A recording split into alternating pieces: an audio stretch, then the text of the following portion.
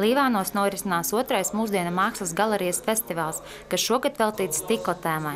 Šogad aprit 130 gadu kopš Līvānos uzsākta stikla ražošana.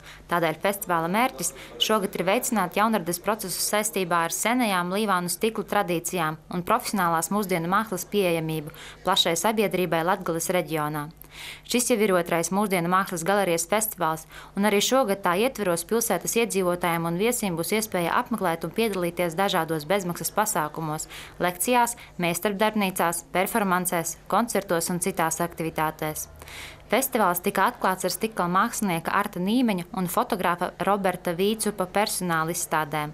Artis Nīmenis ir dizaineris un stikla mākslinieks, zīmola An and Angel stikla trauku galvenais dizaineris.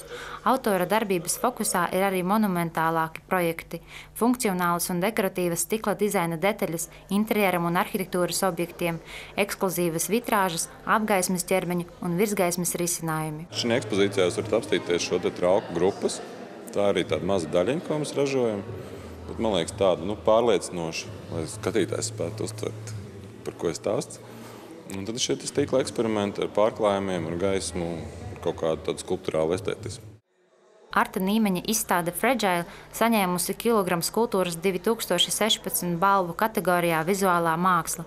Zīmīgi ir tas, ka mākslinieka pirmā pieredze kā studentam bija pirms 17 gadiem Līvānu stikla fabrikā. Viņš tajā strādāja līdz fabrikas slēgšanai. Artis Nīmenis uzsver, ka Līvānu vārds stikla produkcijas ražotāju vidū ir atpazīstams arī mūsdienās. Viņš teica, ka ir būtiski spēt saglabāt Līvānu stikla zīmola atpazīstamību, lai arī ražotne vairs nedarbojas. Savukārt fotogrāfs fotogrāfs Roberts Vīcups, kurš vairāk nekā desmit gadus aizraujas ar dokumentālo foto un bijušās PSRS vēsturiskā mantojuma fotodokumentāciju, mūsdienu mākslas galerijas festivālā piedāvā savu skatījumu uz bijušo Līvānu stikla rūpnīcu. Fotogrāfu uzaicināja festivālā piedalīties mūsdienu mākslas galerija. Viņu uzrunāja fotografēt pamesto Līvānu stikla rūpnīcu. Šādas vietas, un tā skaitā Līvānu stikla fabrika, viņas ir, ir pārbagātas, estētiski pārbagātas ar, ar, ar lietām, ko fotografēt. Un e, bieži vien ir nevis tā, ka ir jāmeklē, bet ir, jāizvēlās. Teiksim.